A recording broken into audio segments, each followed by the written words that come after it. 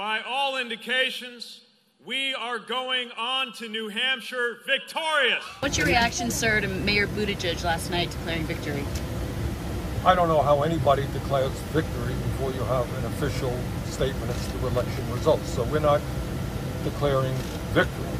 Uh, but what we are saying is that at a time when the people of Iowa and the people of America really want to know what the results is, when they want to see some transparency, and when the Iowa Democratic Party is not providing that in a timely manner, uh, we thought it was inappropriate just uh, to give the results that uh, have come in from our precinct captain. Yeah, I, look, this is not a good thing. Uh, your question is a fair question. I, I, think it's this is not a good night for democracy.